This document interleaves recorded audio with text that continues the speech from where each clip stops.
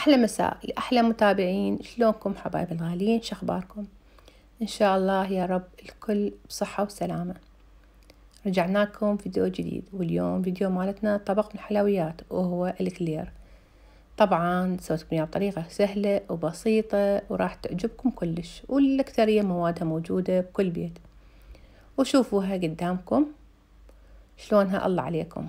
وهمين طبق حلو يفيدنا إن شاء الله بخير وسلام بشهر رمضان المبارك طريقتها راح أشوفوها سهلة مبسطة إلى درجة وناجحة مية بالمية وأتمنى هم الكل يجربها. وأصحابين الدايت آسفة آسفة آسفة. هواية راح يجون يكتبولي راح تدمرين الدايت مالتنا مثل ما أنزل كل طبق حلو. آسفة على المنظر طبعا.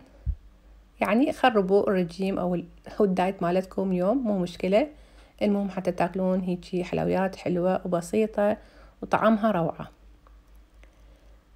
وراح أخليكم أكيد أنا ويا طريقة العمل ويا مقادير. وحبايبي أكيد ما أريدكم تبخلون عليه بال like. حتى الفيديو يوصل أكثر عدد ممكن والكل يستفاد من الطريقة مالتها. وانتو هاي شوفوها قدامكم مثل ما نقول إحنا المنظر هو يحكي. شلون المنظر؟ يلا قولولي. يستحق like لو ما يستحق. يلا دام تخلون like ما انزلكم طريقة لا حبايبي أتشاقى وياكم راح انزل لكم الطريقة. وراح تشوفون طريقة سهلة بسيطة أبسط مما يكون. وراح تسوون أروع طبق وتخليه على مائدة الإفطار. برمضان بخير وبركة. وراح تبهرين عائلتك بيه. ومواد بسيطة كلش ومتوفرة بكل بيت. هسه شنو؟ هسه من هاجت حكيتي. أكيد حكيت هواي. أنا حتى راح أحكي. المهم حبايبي راح أخليكم طريقة العمل وهي المقادير. وهنا المقادير حبايبي. انتبهوا على المقادير وأنا همين إن شاء الله راح أكتبكم إياها بصندوق الوصف. هنا عندنا أربع بيضات راح نفصل الصفار عن البياض. وبهاي الطريقة نفصله الصفار عن البياض. يعني أريد بس الصفار. أربع صفار أربع صفارات بيض. أربعة. المهم أربع بيضات. ناخذ بس الصفار منها حبايب. هاي طبعا أنا هسه هنا ما شغلة أي نار وراح أخلي عليه نصف كوب آه شكر. وراح أخلطه. طبعا هنا صارت بيكارة بس راح أراولكم إياها. هنا راح أظل أخبط الشكر ويا الصفار البيض لحد ما يتغير لونه. يعني مو يذوب حبايبي لحد ما شوية لونه يتغير شوفوا يصير على بياض. هسه شنو؟ راح أخليه آه نصف كوب نشا. وهمين راح أخلطه. شوفوا هاي الطريقة كلش سهلة وطبعا اليد هنا عندت وياي كل ساعة تنشلع. هسه وقتي هسه انشلعتي المهم حبايبي بعد ما خلطت السكر أو الشكر والبيض الأربع صفار وثلث كوب نشا. هسه راح أخلي عليها كوبين حليب حار. بس راح أخليه بالتدريج حتى لا عندنا يعني يصير بيه كتل أخلي شوية وأخبط. وهاي طبعا أنا ما بشغلة النار حبايب خاف تسألوني ما بشغلة النار. ندير الحليب شوية شوية ونخبط لحد ما كلها تتجانس المواد. كوبين حليب حارة. هذا الكوب الأخير. هسه خبطنا المواد كلها. هسه راح نشغل النار عليها وشوفوا اليدة شلون انكسرت ويعني هسه هي وقتها الله عليكم كم واحد صار بي سالفة دي يسوي الشغلة وتنكسر الحاجة اللي أنت محتاجتها ضروري ولازم تسوين بيها. شوفوا شلون عندي ثخن طبعا النار هذا وأظل أقلب بيه لحد ما صار بهذا الشكل عندي ثخن هسه إيش راح أسوي؟ راح أخلي خاشوقة أو ملعقة طعام فانيلا. وأخلي خاشوقة الزبد. خاشوقة الزبد وخاشوقة فانيلا أو نقول ملعقة ونخلطها. هاي عندنا الحشوة كملت. لأن إحنا بدنا نسوي الحشوة حتى تبرد عندنا ونخليها بالبراد. هسه عندنا بين ما شوي طبعا إحنا نخليها برا بين ما شوي عندنا تبرد. راح أخلي عليها نايلون على الوجه مالتها حتى لا تصير عندنا بهذا الوجه الفخين. أو نقول شوية يعني تنشف وأخليها بالبراد تبرد عندنا. وهسه راح نحضر العجينة وشوف العجينة ما تشقد سهلة. كوب مي وهم إن شاء الله الطباخ حبايب. وراح أخلي الزبد. حبايب أكو بعض الأنواع الزبد يخلون عليها شوفوا يعني غرامات. أه تقدرين انت تحددين أو إذا ما تعرفين على الغرامات فنص كوب. يا أما نص كوب أه زبد أو مية وخمسة وعشرين غرام زبد. يعني قلت لكم إياها بالكوابة وقلت لكم إياها بالغرامات. وهنا راح أخلي أه ملعقة طعام شكر. هسه شغلنا الطباخ. راح ننتظر الزبد يذوب عندنا. وراح نخلي له همين قليل من فانيلا حتى على المود تعرفون يكسر طعم البيض.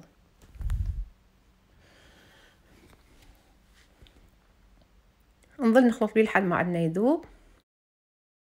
هنا بعد ما ذاب وطبعا صار عندنا حار راح نخلي له كوب طحين. وهم راح نظل ندير شوي شوية ونقلب بيه. وحبايبي هنا مو العجينة ما صارت عندكم هيك تطوفوا لا أظل شوية أقلب بيها. لأن هاي وحدة من سر نجاح الاكلير حتى عندنا ينفش ويصير بطنه يعني آه شون فارغ. يعني مقرمشة. فأظل شوية أقلب بيه على نار هادئة بهذا الشكل وشوف شلون صارت عجينة ولا أروع. وهسه هنا بعد ما كملنا الخطوة الأخيرة إيش راح نسوي؟ طبعا العجينة عندنا شوية نوعا ما تبرد. هسه راح نخلي لها بيض راح نخلي ثلاث بيضات بس حبايبي شوفوا الطريقة. هنا تخلون البيض أظل أخلط بيه هسه حشوفون طبعا ينعزل العجين على البيض عادي طبيعي بس انتي من حظلين تقلبين بيه. راح يتجانس البيض عندكم ويا العجين. ثلاث بيضات راح نخليه بس مو كلهن سوية مثل ما تشوفون بالطريقة أنا شلون أسوي لكم طبعا صورته كامل حتى تستفادون أكثر. أخلي بيضة بيضة شوفوا هسه بعد ما انخبط عندي كامل حخلي بيضة الثانية. البيضة كاملة هي يعني الصفار والبياض يعني ما ما عزلته وهاي عندنا البيضة الثالثة. وهم راح أظل أخلط بيه بهذا الشكل لحد ما تشوفوه يتجانس يعني زين. تريد تسويه بخلاط بس على درجة خفيفة أو تريدين تسويه بإيدك. هاي إن شاء الله براحتك. هسه هاي العجينة عندنا هنا كملت. شوفوها شلون صارت. وعندنا هذا آه حبايبي الفورمة اللي نسوي بيها فورمة النجمة. هي اللي حسوي بيها. طبعا بطأت لكم إياها حتى تشوفوها زين. هذه اللي حسوي بيها. هسه راح نخلي العجينة وخلينا ورق الزبدة. وعلى كيفنا. طبعا تريدون الشكل تريدوها دائرية تريدوها هيك بالطول بس هي الأكثرية معروفة بالطول. أخلي الحجم اللي أريده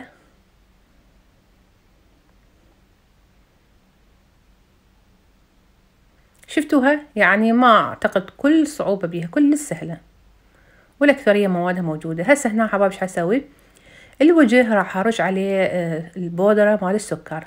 بودرة السكر يعطيه اللون حلو ويعطيها قرمشة. يعني شوف هسه حتى من دا أرش يعني رأسا هي العجينة قاعدة تمتص السكر حتى من يبين بيها.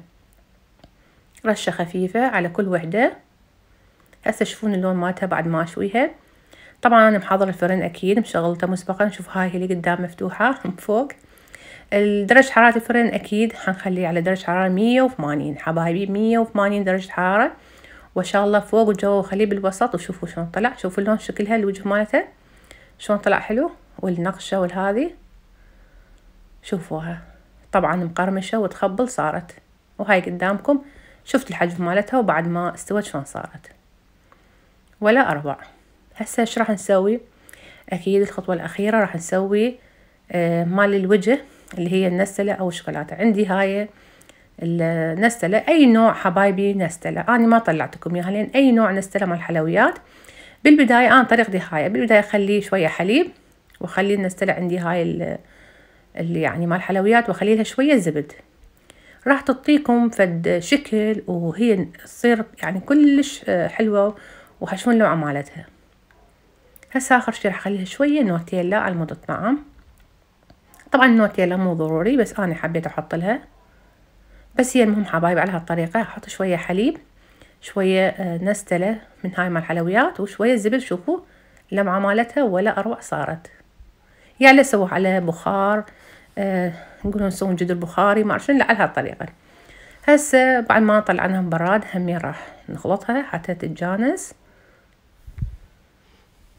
وهسه عندنا هذا القمع. طبعا هذا القمع عندي مال حلويات مال معجنات. فأنا بصراحة ما عندي هذا القمع مال هي هاي الحلويات عندي هاي مال معجنات يعني خاصة. ف يعني استفادت منها راح أسويه. فشوفوا الحشوة مالتها شلون أحشيها. يا أما تريد تحشوها عندكم عدة طرق أو من جوا تسوي لها ثقب تحشوها بهالشكل الثقب الثاني. ثقب شلون حتعرفون بيها إنه صارت بطنها كاملة؟ بعد شوفوا انتبهوا. هنا أنا من حضغط راح أضغط شوفوا الثقب الثاني طلع منها معناته إنه بطنها انترس. انترست بطنها يعني. يعني شبعت بعد؟ ما تريد تاكل. حبايب. المهم حبايب تريدون يعني تريدون تحطون كمية كاملة يا أما تريدون قليل بكيفكم. أو يا أما هاي الشغلة المعتادين عليها نفتحها من الوسط هم محبرة وكمياها من البطن شوفوها شلون صايرة بطنها تخبل. أحشيها بهذا الشكل وأطبقها. أو طريقة اللوخ من الأطراف منا ومنا همين هم نفس الحالة. أخلي لها ومن صفحة ثانية من أخلي إذا طلعت من الصفحة الثانية معناتها انترست. بهذا الشكل. هسه افتح لكم وحدة اللوخ خبطوا فتحتينا بس وحدة. وهم يشوفوا بطنها شلون مجوفة تخبل.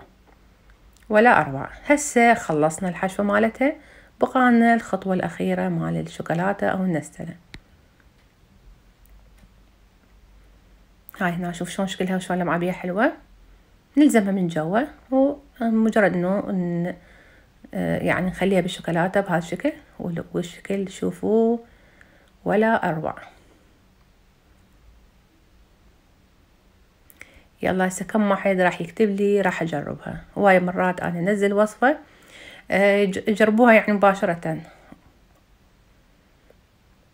وحتى وقت ما تاخذ من عندكم. هذا الوجه هيج وشوفوا اللمعة مال النستلة. جربوا على هالطريقة مالتي مال النستلة وراح تشوفوها شلون تعطيكم نتيجة. لأن أنا شفت هواية أكو يذوبون حطون مي حار وحطون كاسة ويحطون بيها النستلة يذوبون لا ماكو داعي. آه، حليب يعني ملعقتين مال طعام حليب. والشوكولاتة هاي اللي عندنا هي مال حلويات. أخلي فشيها بسيط وياها الزبد. تصير لك كلش روعة. وهسه هنا كملنا. وراح أراويكم شكلها الأخير. وهذا شكلها الأخير وشوفوا اللمعة مال الشوكولاتة أو مال نستلة يلا حبايبي شلونها؟ وعندي هاي طبعا هي خاصة مال الحلويات طبعا ما حخلي لها كلها لأن اكتفيت بشكلها. شكلها كلش حلو. قلت ماكو داعي أحط لها بس راح أخلي بس الاثنين بالوسط. يعني أنتو هم تريدون تزينون الوجه مالتها براحتكم. بس اني شو شفت الشكل مالته كلش حلو ما يحتاج أي نوع من الزينة. يعني شكل النستلة واللمعة البي كلش كافي وأكيد إحنا شنو همين؟ ورا ها حبايبي. وأهم شي بهاي الحلويات تحطوها بالبراد تبرد. يعني من تبرد تعطيكم طعم أكثر ما هي حارة. وهسه حطيت لكم وحدة من الوسط. حتى راويكم بطنها شلون تحشت وشلون آه يعني ما بيها كل فراغ. شوفوها شلون الله عليكم. يعني أنا لا شفتها ولا أبد مجرد ثقوب سويت بس هي يعني هاي وهاي شكل النستلة اللي فوقاها وشكلها شلونه. وآسفة حبايبي على المنظر هذا. طبعا أكيد هو يحب هاي الحلويات. وشفتوها سهلة كلش وبسيطة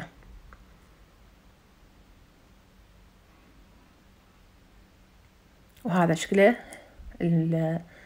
وقلت لكم حبايبي أهم شيء من تكملوا حطوا بالبراد تبرد يعني يعني كلش تصير باردة طعمها يكون أطيب لأن إحنا حتى بنشتريها جاهزة مرات آه حاطيها بالبراد باردة نشتريها جاهزة.